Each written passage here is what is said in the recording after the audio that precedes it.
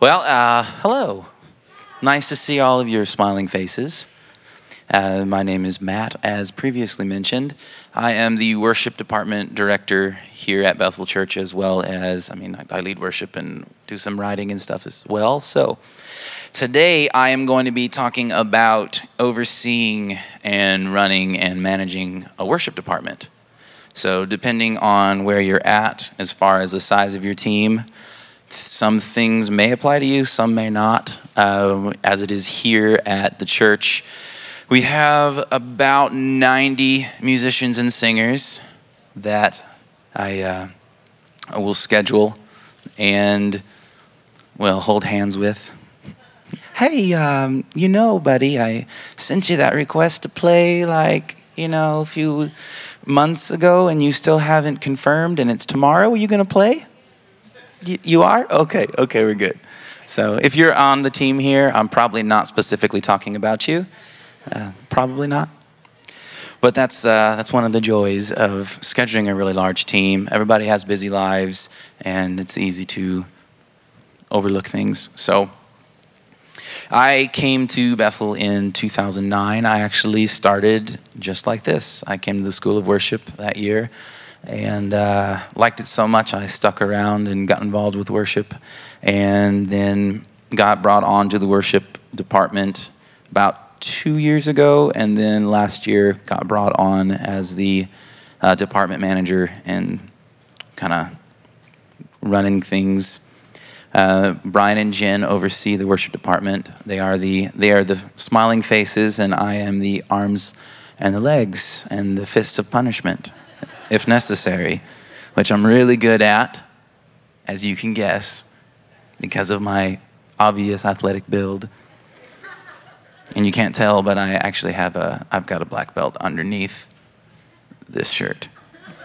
So, so um, I'm going to cover just a, a few things today. I'm going to tell you a little bit about how our department is set up and how it runs, and then I'm going to give, give you guys some some pointers primarily I'm going to be talking about how like good good ways, good systems, good things to keep in mind for running a department because it's it can be it can be really tricky and we're still learning because no one has the whole picture.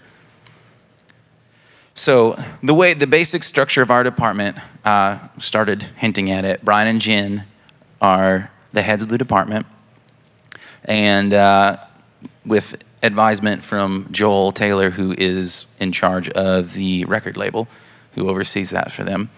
And, uh, and then I am the worship team uh, manager.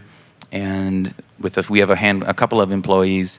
Uh, my friend Paul McClure is uh, one of the other guys who's helping out, as well as he works for Worship U. And between the two of us, then we are doing the scheduling and the administration of the department. We have, was it seven services every weekend? And so that's a lot of musicians to schedule. And the way we have it set up right now, we have a Friday night team. We have a band that plays all three of our morning services here at our main campus, which they are just, Lord bless them. They are saints. And uh, that's a lot. That's a lot of playing. That's three services. They're here from uh, 7 a.m until usually 1.30 playing music. So it is a lot of work, but it, but it works. And then we have leaders lead the first two services, and a different leader, different leaders will come in for the 1 p.m. service. We have our Sunday night team, and then we have, which hopefully is a different team than the team that played all morning. But sometimes, if you guys do any kind of scheduling, you'll know that can be really crazy sometimes, and you just can't avoid some things. And then we have uh, our secondary campus, which has two morning services, and when the school's going, has an evening service as well. So we're quite busy, very busy scheduling and texting people and calling people, and very likely begging people, please, please play. So in that, we also have what we have uh, is section leaders. We have a couple of people that are in charge of their particular department, uh, like their musical instrument department. So we have like Michael Pope, who's been up here almost every day playing, and Bobby, the two guitar players. They are they oversee all of our electric guitar players, and they make sure that they're learning parts and they're helping them with gear, helping them with tone. Um, we have that for drums and keys, etc. So that's the whole idea is to have like when you have a big team, you can't do everything yourself. So finding great ways to delegate keeps you from burning out. Because if I had to do everything myself, I wouldn't be able to. So it wouldn't wouldn't work really well. So we've got those sort of structures. We have a few basic requirements for being a part of the team. We have a monthly community meeting, which I believe we're actually having in here next week, next Thursday night. That uh, here, and I think everybody gets to come to that. Don't quote me on that, but they'll talk about that next week, I'm sure. Uh, so we have that once a month. It's usually like an hour and a half or so, two hours, where we hang out and then talk about whatever's going on within the department, new like announcements, um, change of protocol, things like that.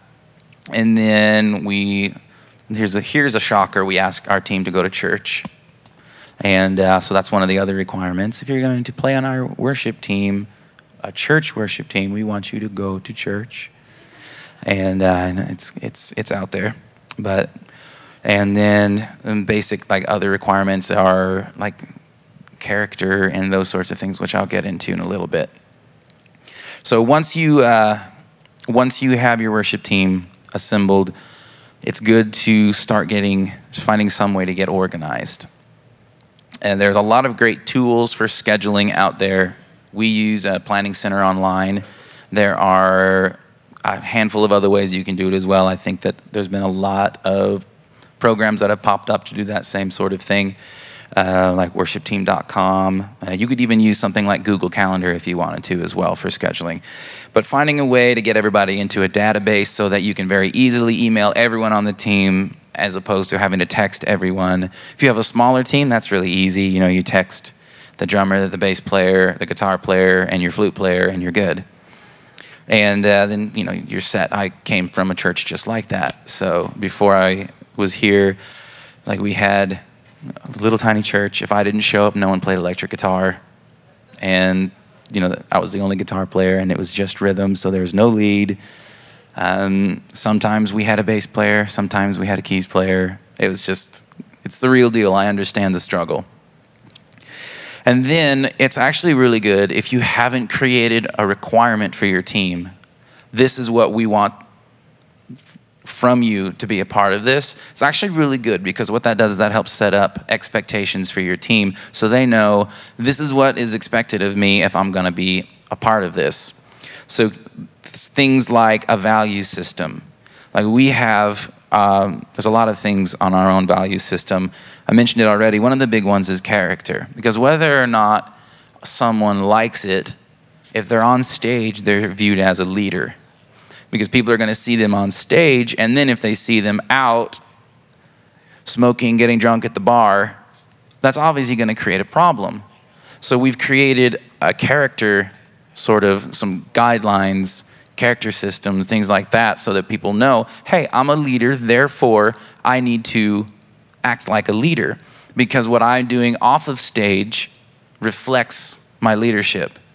So if I'm setting a bad example off of stage on the weekends, whenever, like if let's say if I personally do something stupid out there that makes a mess, I'm creating a mess then for my leadership. I've made a mess for Brian and Jen, and indirectly, Bill, Chris, all the other leaders that I look up to and respect so much, my actions have created a mess for them. So it's a respect sort of thing. So having good character is one of our primary primary things and valuing character over someone's ability.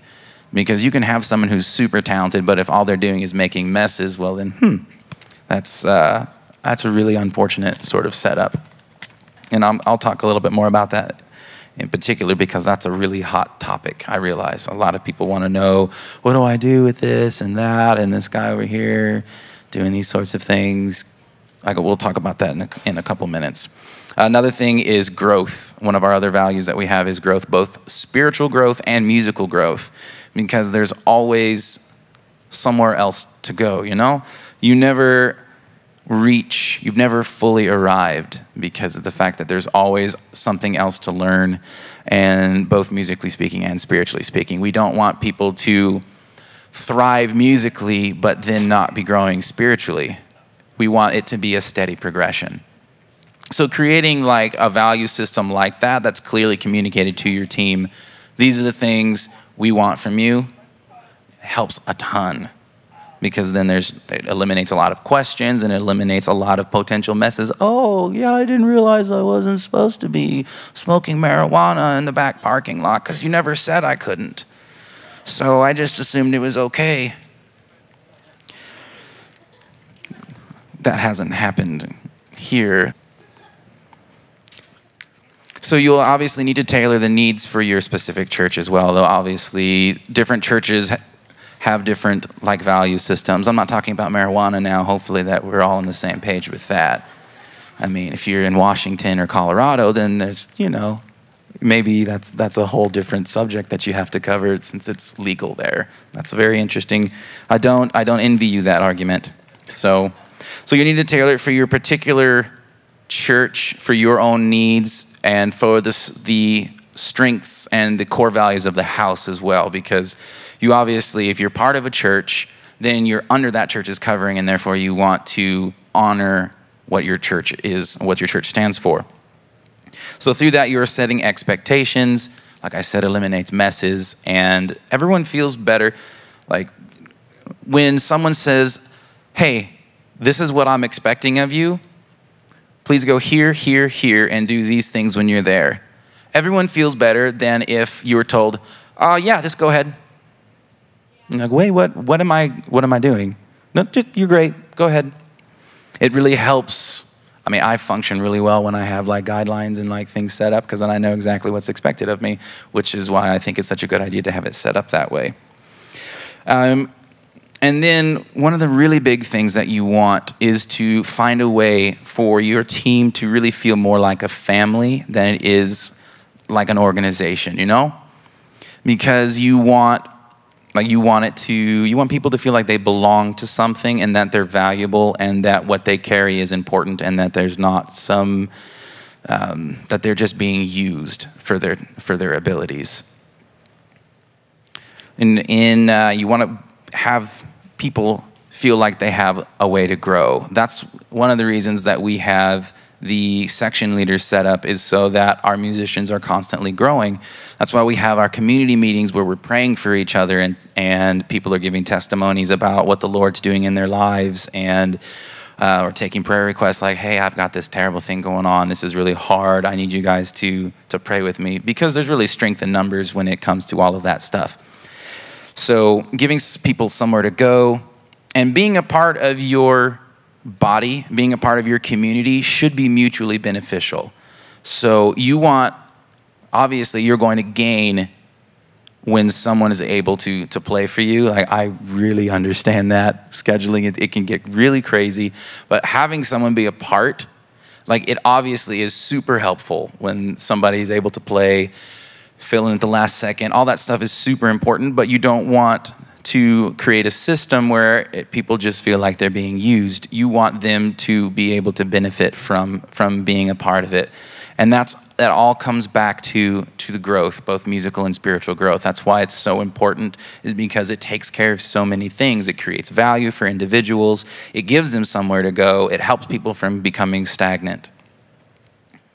And it, uh, in all of that, it finds ways, like it's finding a way to show value to your people, which is obviously really important. And uh, I mean, there's always the question of, well, do we pay our musicians? Do we not pay our musicians? That's really, that's really up to you. And um, we pay our musicians for conferences, and we will sometimes have jobs and different things that we will have people do for us. Um, and that's just the particular way that we have it set up here. But some people have a stipend for their musicians or they will bring in musicians from all over. I know some churches will like hire musicians per service and they pay them for that. Uh, my only concern when it comes down to whether or not to pay a musician is it becomes a question of motivation. It's like, why are you here? Are you here because you're getting a paycheck? or are you here because you want to be a part of all of this? And that's the whole, that's kind of the huge debate for everyone like, do we pay, do we not pay? That's usually it comes down to obviously finances and what is what's then the motivation going to be. So you'll just have to decide that on your own. You know, with I don't have any great like this is the way you have to do it because it's all dependent on where you're at. And uh, another huge part of running a department is being a good leader.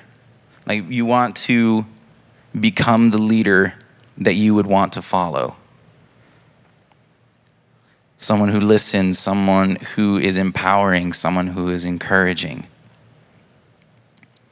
There's a couple, I think there's like two basic forms of leadership, like motivations to follow someone. There's either love or there's fear. I've, I've led, um, I've worked for some people whose leadership style was do this so you can avoid my wrath. And the amount of joy you can have in that sort of environment is, is pretty limited, um, very honestly.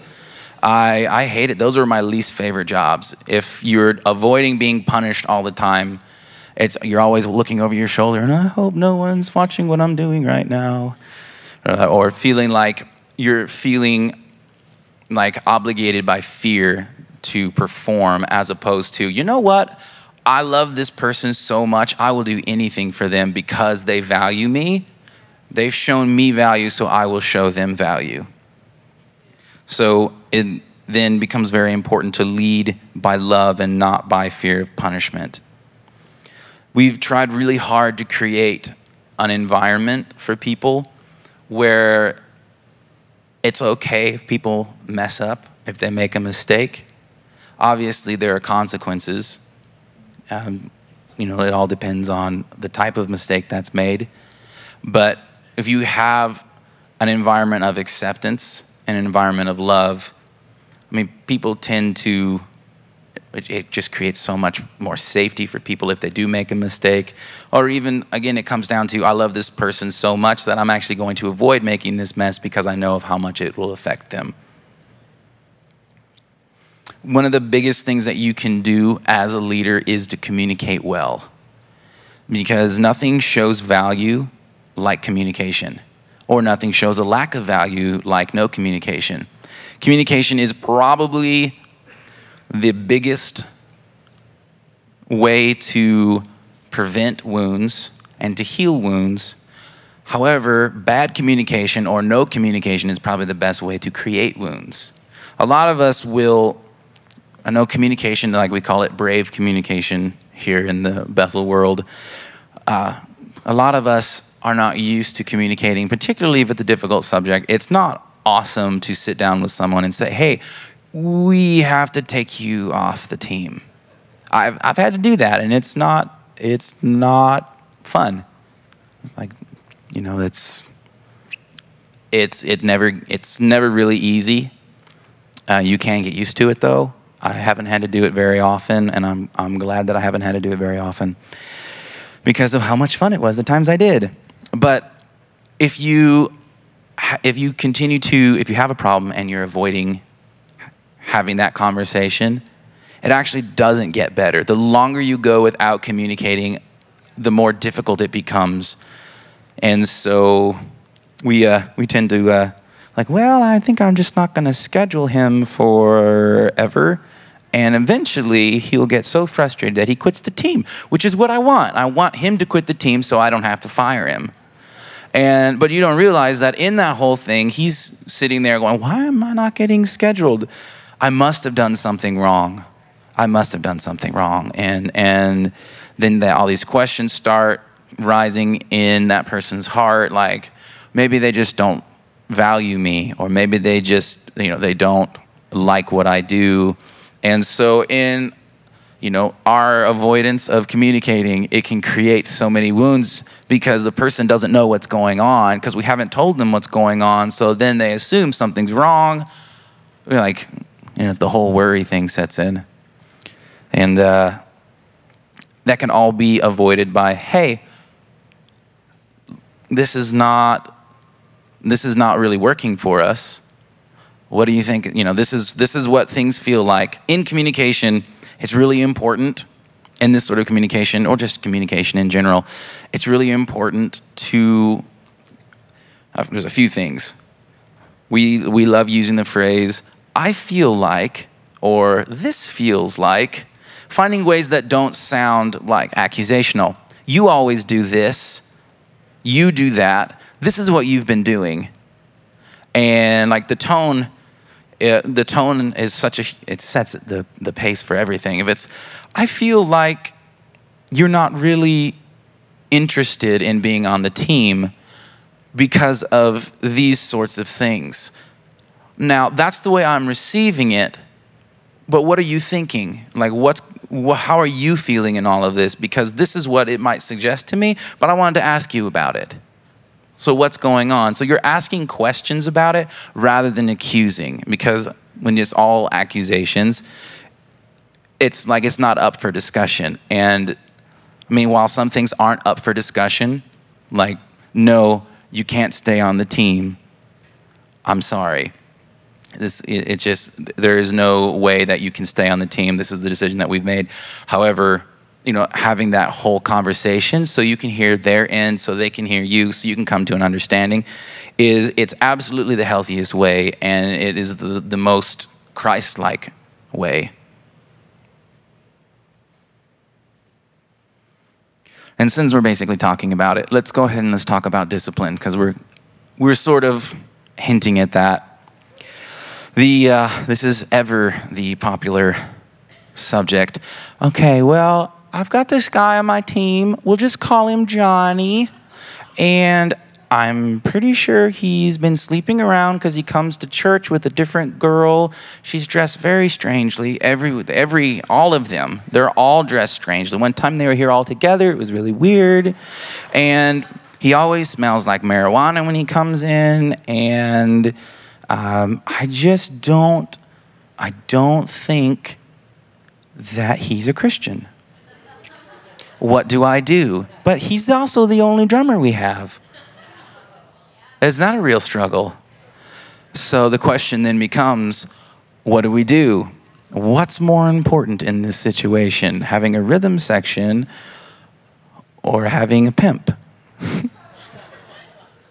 and you know when it when it comes down to it, a, a lot of times you're just going to have to ask the Lord because there's two ways you can look at it. You can say, you're only, we're only as strong as our weakest link.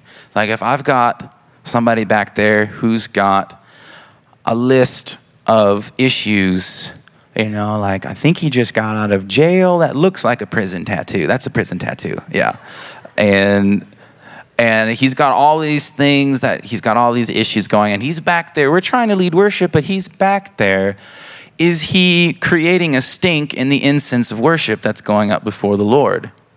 Like the real the real question is this is kind of the approach that we take. Obviously, if there's somebody who's got a lot of issues going on, we have taken people either completely off the team or we've put people on breaks.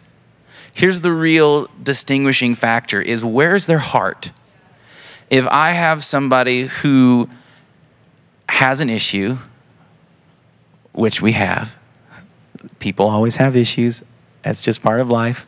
The disciples had issues. You want to read some read about some issues? Like Jesus was not afraid of people having issues. He chose some real winners when he came to picking disciples, and um, but he saw where their hearts were at. So we're not looking for people who are completely perfect, but we are looking for people who are willing to grow. If you're not willing to work through your stuff, then that's where we really have a problem. If they have, they're making huge messes, then we're going to take them off either way. If you want to work through your stuff, great, you can do that from the front row. And we will we'll set up like a plan for them. This is how, this is what the path to restoration looks like. We want you to do this, we want to do that, but only if you want to. Like here's that's another thing is you can tell people you need to do this to get better, but if they don't want to get better, they're not going to do those things. That's why we often, if, if the situation comes up like that, it's always the question of do you want to get better? You obviously have a problem. Do you want to get better? If you love being unhealthy more than you love the idea of becoming healthy, that's fine. You don't have to grow for us. But if you want to grow, then we can work with you. And that's sort of the approach that we've, we've been taking. And so it really comes down to choosing in your own situation, you know, where do I draw the lines? And do we kick this person off? Do we keep them? Ask the Lord about it. And also, like, ask is this person going to go to jail if the police find out what's happened? I mean, we, we've, we've, had, we've had that situation before. So um, we, we've had all kinds of things. And that's just how it is. When you have a big community of people, particularly musicians who are very wounded and very sensitive, they can be. Not everyone's wounded. Just say, but when you're creative, there does sometimes tend to be more of a uh, sensitivity where you can tend to carry wounds a lot, particularly childhood wounds. I can, I could teach a whole other lesson about that in my own life. But um, you, you have to weigh like the consequences and then make the best decision but it always needs to be motivated by love not by not by fear. And that needs to be from your own your own heart. This seems like the best move because it seems wise. It's not fear based it's love based because i know if i put this person on break they're going to grow from it and it's not i'm afraid they might make a mistake so i'm just going to so it always is really important then to give them the choice and then this, just to tag onto that, because I've had a lot of people ask me about this. Well, what do you do about people who are Christians or not Christians? Can you let non-Christians onto your team? Again, it comes down to that to that same question because it's sort of like what's the Lord doing on this this person's heart? You know, if if they are Steve, the guy with the prison tattoos who just got out yesterday and he's just a hardened criminal, then I wouldn't probably recommend him being on the team. However, you could bring him into some of your other things and see what happens. Like, oh, yeah, we're all hanging out and singing hymns and holding hands. Would you like to come? And you can see where building relationship takes you. Otherwise, sometimes, I mean, sometimes the Lord is moving really strongly on someone who's not a Christian and he's like, well, he plays drums. He's fantastic at drums. I'm using drums as an example a lot. It's no, there's no reason for it. Um, if you're a drummer, I'm not picking on you. If you're one of our drummers, I'm not picking on you. And uh, he's really good. And you know what? I really feel like the Lord's doing something on his heart. And that's where you would have to figure that out and maybe ask your leadership obviously, you know, you're, if you have good communication between your pastor and yourself, then you can, you can say, hey, um, what do you think?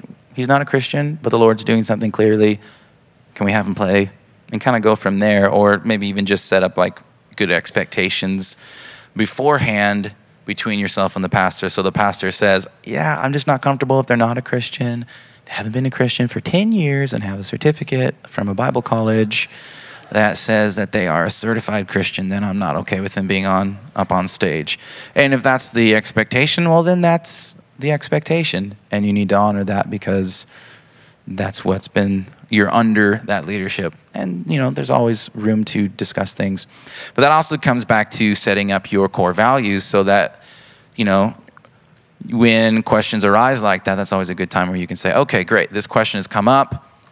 Let's make this sort of part of our value system. That way, there's no questions next time if this happens a second time. So, um, yeah, so anyway, I think that just about summarizes everything. I hope that that was very beneficial for all of you.